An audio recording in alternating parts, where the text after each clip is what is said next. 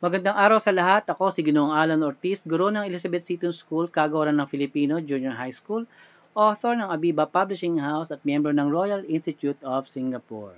Para sa mga bago lamang sa aking channel, huwag kalimutang i-click ang subscribe button upang magkaroon kayo ng update ng mga bagong aralin at mga videos na inilalagay ko sa aking channel. Sa araw na to, tatalakayin natin ang sangkap at elemento ng tula. Batay sa katuturan ng tula, ang tula ay pagpapahayag ng katotohanan na pinaigting at pinatingkad ng pananaw at pandama ng makata. Ibig sabihin, lahat naman nakikita natin sa ating paligid ay pinaitig, pinaigting ng pandama ng uh, natin bilang isang tao at ang ating pananaw batay sa nilikha ng makata.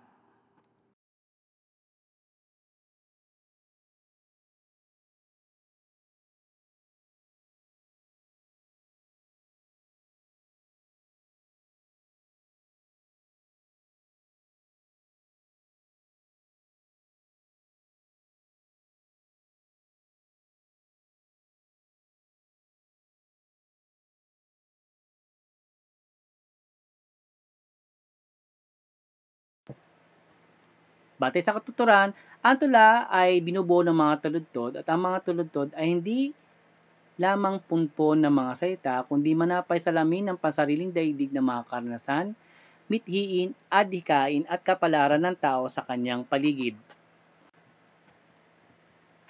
Ayon kay Alejandro G. Abadilla, ang tula ay kamalayang nagpapasigasig. Ayon kay Julian Cruz Balmaceda, ang tula ay isang kaisipang naglalarawan ng kagandahan, ng karikitan, ng kadakilaan, ang tatlong bagay na magkakatipon-tipon sa isang kaisipan upang mag-angkin ng karapatang matawag na tula. Ayon kay Enigo Ed Regalado, ang tula ay isang kagandahan, dula, katas, larawan at kabuuan ng tanang karikitang nakikita sa silong ng alinmang langit. May mga sangkap ang tula. Isa na rito ang tinatawag na sukat. Ito ang bilang ng pantig sa bawat taludtod. Sa tulang tradisyonal, ang mga palasak at gamiting sukat ay ang labindalawa, labing-aning at labing-walo. Ang di tradisyonal na tula ay walang isinasaalang alang na bilang ng pantig sa bawat taludtod. Tinatawag itong malayang taludturan. Halimbawa ng mga sukat sa tula ay kopla, aapatin, aanimin, pipituhin, wawaluhin, lalabing animin, lalabing waluhin, soneto, haiku, at tanaga. Halimbawa ng labing dalawahing pantig sa tula. Halaw sa tulang Ang Bato ni J.C. De Jesus. Batong tungtungan mo sa pagkadakila, batong tungtungan ka sa pamayapa. Talagang ganito, sa lapad ng lupa, ay bali-baliktad lamang ang kawawa. May labing dalawahing, ah, labing dalawang pantig sa bawat taludtod ng tulang ito. Halimbawa naman ng lalabing waluhing pantig ay halaw naman sa tulang hantungan ng palad ni C.H. Panganiban Minsay nakita ko ang isang bulaklak sa aking lagwerta. Sa siwang ulap ay mata ng birheng malamlam tumingin.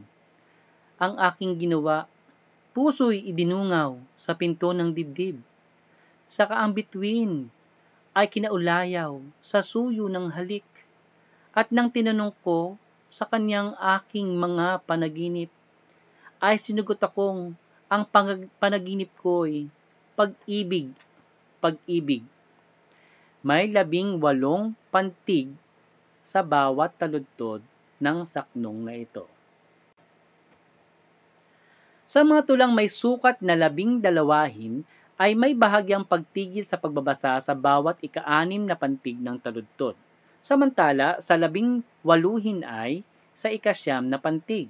Ang bahaging pagtigil na ito ay tinatawag na sesura.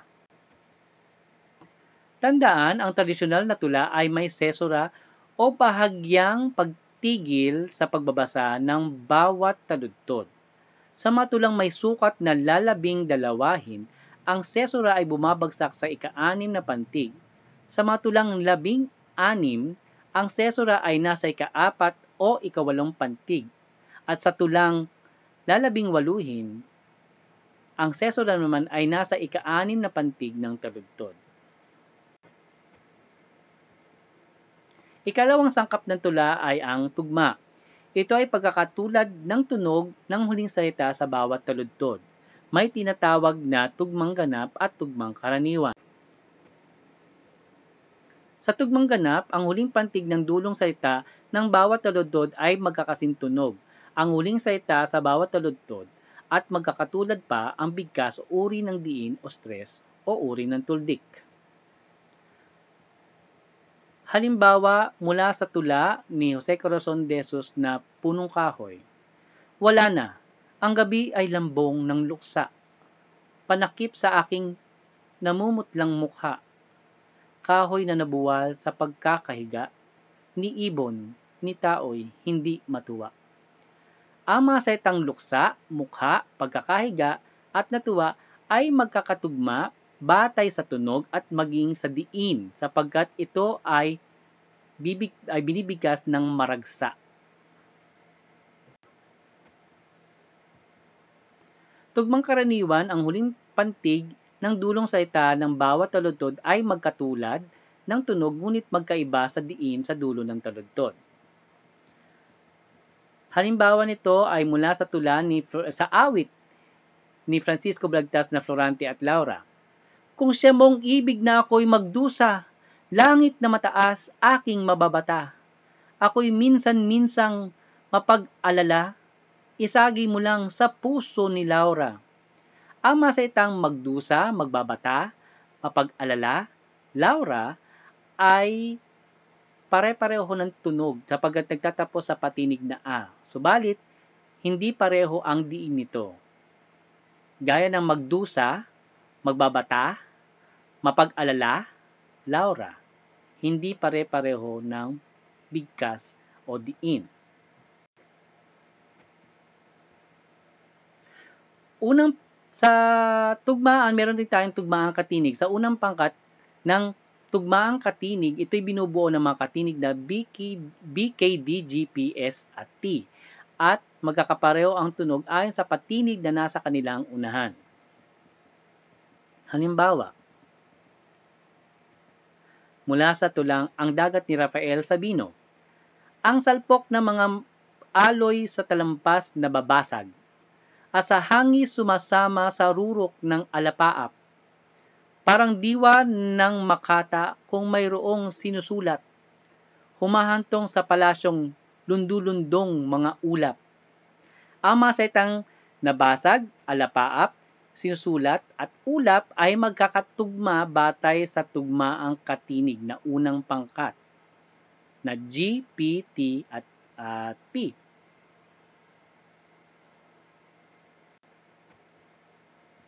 Ang ikalawang pangkat naman ay binubuo ng mga katinig na L, M, N, N, G, R, W at Y. At magkakapareho ang tunog ayon sa patinig na nasa kanilang unahan. Halimbawa nito ay mula sa tulang nangungusap ang kasaysayan ni Lope. Santos. Tao, kilala kang sa sangkalupaan, at tanang nilika, ang hari ay ikaw. Ang pag-usap mo at dunong kung minsan, pati kay Bathala ay nagmamayabang. At talastas ko ring ang kaligayahan, ay siya mong mithi habang nabubuhay. Mapapansin natin nagtatapos sa NW NG at Y ang mga salitang ginamit sa saknong na ito na nabibilang sa ikalawang pangkat ng katinig. At ang mga patinig na ginamit ay pare-pareho, kaya ito ay magkakatugma batay sa tugmaang katinig. Isa pang sangkap ng tula ay tinatawag nating makabuluhang diwa. Ito ay pagkakaroon ng malalim na kaisipan o makabuluhang diwa ito ang pinagkaiba ng tula sa isang karaniwang tugma. Sa mga linya nito, makikita ang matayog na kaisipan at nasa pakabuluhang diwa ang mensahe ng tula. Nakapaloob dito ang mga talinghagang likha ng matalinong isipan, pagkukuro at guni-guni ng makata. Hindi makikita sa dami ng tadodod o haba kaya ng tula, ng tula nasusukat ang pagiging tula ng isang nilikha, kundi sa nilala, nilalamang makabuluhang diwa at mga talinghaga gaya ng tanaga.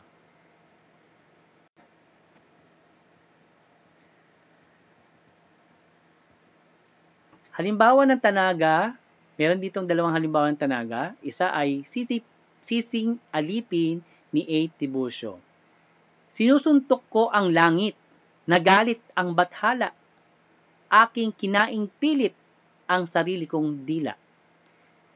Kung titignan natin, patungkol to sa isang tao o alipin na nagalit ang batahala dahil sa ginawa nito, kaya pinagsisihan niya ang kanyang ginawa. Ang ikalawang tula naman ay mula naman kay o pagsam, pagsanhan na pinamagatang squatter. Balon ng kadiliman, tangi nilang luklukan, isdang nagpipiglasan ng makahinga lamang. Inugnay ang squatter sa isang lugar. Ito ay balon. At ang mga isda ay kumakatawan sa mga tao sa loob ng squatter. Kung titignan natin, kapag ang isang balon o halimbawa ang isang timba ay nilagyan natin ng maraming isda at kakaunti lamang ang tubig, ang mga isda ay magpipiglasan para makahinga. Ganon din sa mga taong nasa squatter dahil sa marami sila dito, nagkakagulo sila para lamang mabuhay. Ang husay ng pagkakagawa ng makata sapagkat naiugnay niya ang kalagayan ng squatter na mga tao sa isang sa mga isda at sa balon. Ang isa pang sangkap ng tula ay tinatawag na talinghaga, ang malalim na pakahulugan sa mga taludtod ng tula. Kabilang dito ang tayutay na ginagamit. Larawang diwa, idiomatikong pahayag na may konotasyong pakahulugan. Ang paggamit natin ng mga matatalinghagang salita sa isang tula ang nagbibigay tingkad sa isang tula. Ang indayog o aliw-iw, ito ang nagbibigay ng tono upang maging maganda ang pagbigkas ng tula.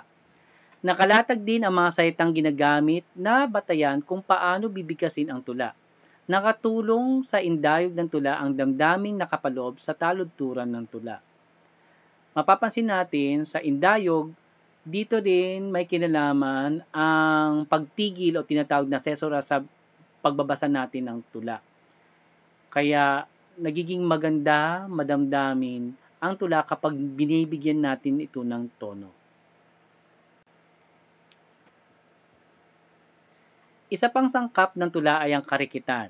Ito ay kagandahan at larawan ng kabuuan ng karikitang nakikita ng matalas na pananaw ng makata gumagamit ng mga piling-piling salita na nakagigising sa mayamang guni-guni ng mambabasa.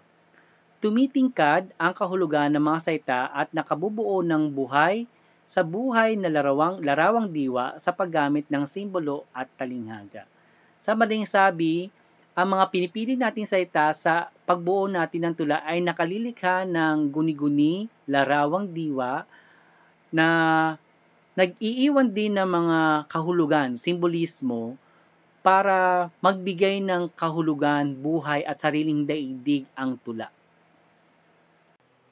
Sumunod na elemento ay ang tunog.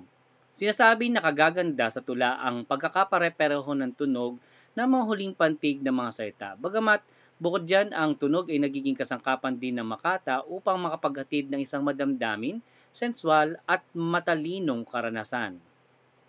Dito sa halimbawang ito, uh, mayroong pag-uulit ng mga salita. At yung pag-uulit ng salita ay pag-uulit ng mga tunog o mga ponema na nakagaganda sa tula at nakaalala sa atin, nagkakaroon ng recall. Okay? Halimbawa, iyang kamay na sulak at nagpabulas sa bulto, iyang kamay na kumatam at kuminis sa anggulo, iyang kamay na naglapat, nagpako at nagmartilyo. Di ba? Kung paulit-ulit magkakaroon ng magandang recall at alaala sa atin. Isa rin sa mga mahalagang elemento ng tula ang tinatawag nating talinghaga. Higit na mabuti at mabisa kung ang mga salitang ito ay ihahayag sa iba't ibang uri ng talinghaga. Sa panulaang Filipino, pinakagamitin ang mga pagtutulad o metaphor, pagsasatao, personification, at exaggerasyon o hyperbole. Halimbawa, gumamit ng pagtutulad mula sa tula ni Jose Corazon de Jesus na ang tula. Ang tula ay parang bulaklak, may bango. May bulaklak na walang bango, walang tula. Ang tula ay parang pintura, may kulay. May pinturang walang kulay, walang tula. Makikita natin dito na gumamit ng pagtutulad dahil gumamit ang ating makata na masaitang parang. Okay? At yung tinutulad ng makata ang tula sa isang bulaklak at pintura. Parang pintura, may kulay. May pinturang walang kulay, walang tula. Yung bulaklak, may bango, di ba? Parang bulaklak yung tula. Pero may mga bulaklak na walang bango, walang tula. Isa pang elemento ng tulay ang larawang dila, diwa o imagery. Tumutukoy sa mga salitang kapag binabanggit sa tula ay nagiiwan ng malinaw at tiyak na larawan sa isipan ng mambabasa. Ang mga salitang ito ay magpapamalas sa panlasa, pangamoy, paningin at iba pang persepsyon ng mambabasa. Halimbawa, may paambon-ambon, may tika-tikatik, na sinasabayan ng kulog at lintik. May unos at bagyong nakatitigatig sa lalong payapat matimping dibdib. Makikita natin ang imagery o larawang diwa na may bagyo o may pag-ulan o umuulan sa bahaging ito ng saknong. Ang naririnig nating tunog ng tikatik ng ambon ang kulog at lintik na gumamit tayo ng mga salita ng onomatopeya at paglalarawan kung ano yung damdamin ng, ng pag-ulan o bagyo sa damdamin ng tao pag ito'y nararanasan. At ang panghuling elemento ng tula ay ang simbolo ito ang salitang kapag binabanggit sa tula ay nag-iwan ng kahulugan sa isipan ng mambabasa. Halimbawa, may kahulugan ang bawat kulay. Tulad ng puti, tumutukoy sa kalinisan o kawagasan. Asul ay kapayapaan at pula ay kumakatawan sa katapangan o minsan ay kaguluhan. Narito ang ilan pang simbolo o mga simbolismong ginagamit sa tula o sa panitikang Filipino. Ang araw o liwanag ay pag-asa dilim, takipsilim, suliranin o kalungkutan, krus, reliyon, pagtukoy sa Diyos, sungay o ahas para sa demonyo, Rizal, karunungan o kahinahunan, Bonifacio, tapang o lakas, Juan, Pilipino, Emmanuel, malapit sa Diyos, Hitler, kabangisan sa digmaan. Tandaan natin, sa pagpili natin ng mga salita na nag-iwan ng simbolismo, Maring ito ay pangyayari, bagay, kulay, bilang, o iba pa na kung saan nagiiwan ito ng kahulugan. Maring ang kahulugan nito ay may kinalaman sa kultural na aspeto kung saan nagmula ang isang tula. Kagaya na naman ng tinalakay natin sa Karunungang Bayan na ang karagatan ay nangangahulugan batay sa kultura ng mga ninuno natin ay isang malawak na uh, sementeryo o lib- libingan. Kapag ang isang manlalakbay ay hindi na nakabalik, tinuturing ng mga tao na patay na yung naglakbay. At noong unang panahon, ang karagatan, o kung ikaw ay namatay, pinapaanod ang bangkay mo sa dagat kaya ito ay isang malawak na libingan. Yan ang maaari nating simbolo ng karagatan. At yan lamang po ang ating pagtalakay sa sangkap at elemento. Maraming salamat hanggang sa susunod po na uh, aralin sa Filipino. Maraming salamat po.